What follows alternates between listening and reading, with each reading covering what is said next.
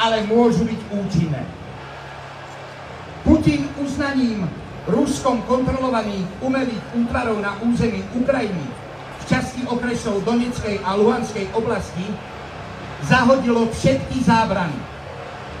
Ukrajina čelí hrozbe rozsiahlej invázie.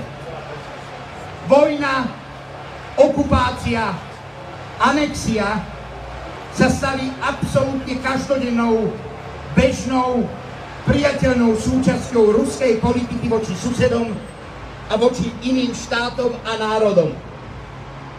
Imperiálne myslenie odmieta slobodné právo štátov na slobodnú voľbu svojej budúcnosti, či dokonca na existenciu. Putin a jeho propaganda sa so svojimi klamstvami snažia získať podporu ľudí v strednej Európe. A to sa mu nesmie podariť. Je našou povinnosťou hovoriť nahlas pravdu o Putinovom zločineckom režime. Ide o budúcnosť a bezpečnosť všetkých nás. Je tu nová realita, vytváraná agresívnym, expanzívnym, imperialistickým Ruskom, ktoré nerešpektuje žiadne obmedzenia.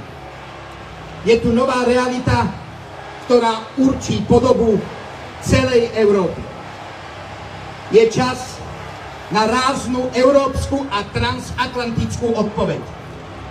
Je čas na spustenie okamžitých sankcií voči režimu v Moskve.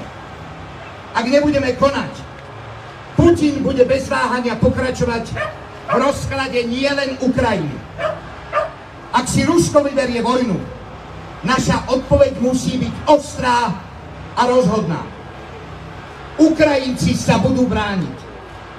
Stojíme pri Ukrajine. Sme s vami, bratia.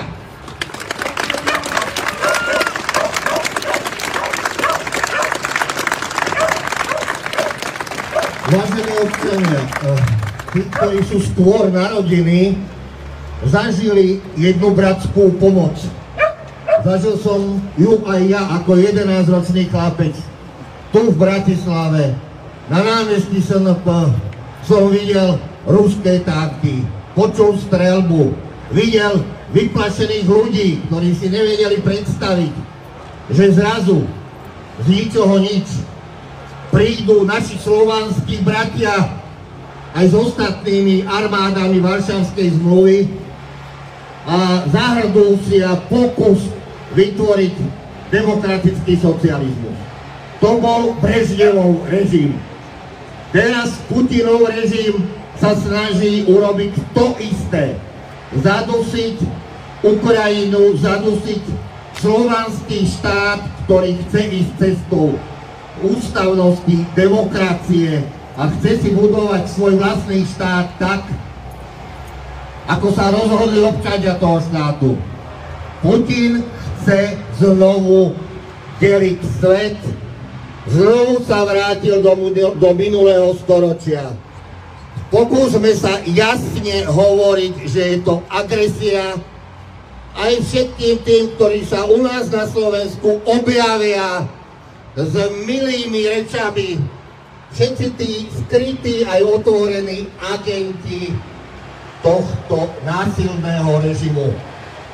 Držíme Ukrajine nielen palce, ale musíme jej aj pomôcť morálne, aj všetkými možnými prostriedkami a buďme šťastní, že sme členmi Európskej únie, NATO a že sme sa dostali do, e, do štádia, že si môžeme naozaj sami budovať náš štát a nadávať iba sami na seba, ak nám to nejde.